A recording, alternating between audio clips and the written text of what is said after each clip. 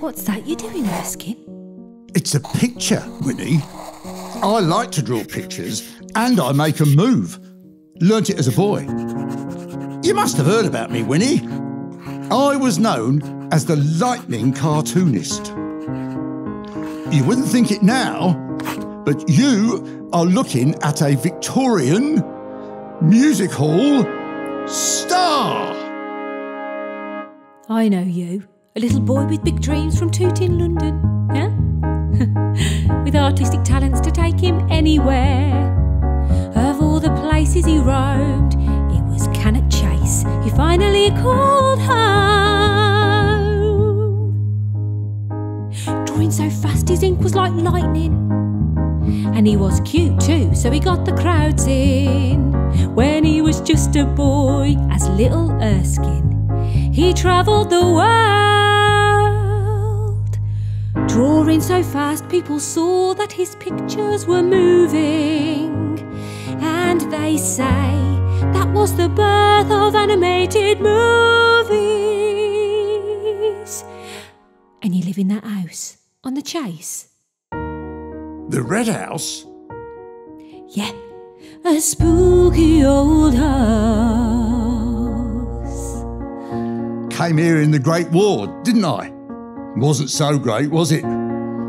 To Brocton Camp with 40,000 other fellas. Cannock Chase was good to me. Something about the people.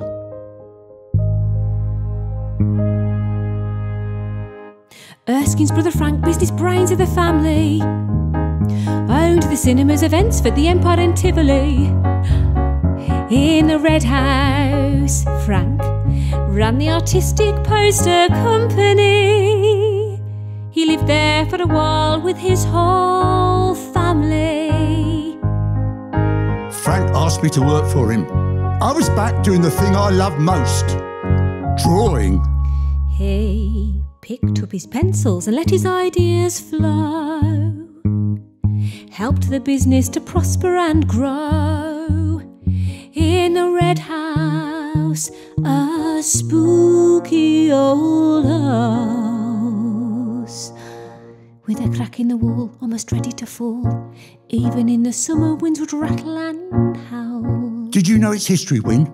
It was originally racing stables, one of at least six in the area. The Red House, sitting across from the Globe Inn. What it must have seen.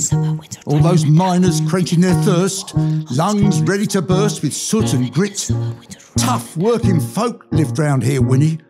But then you know that already.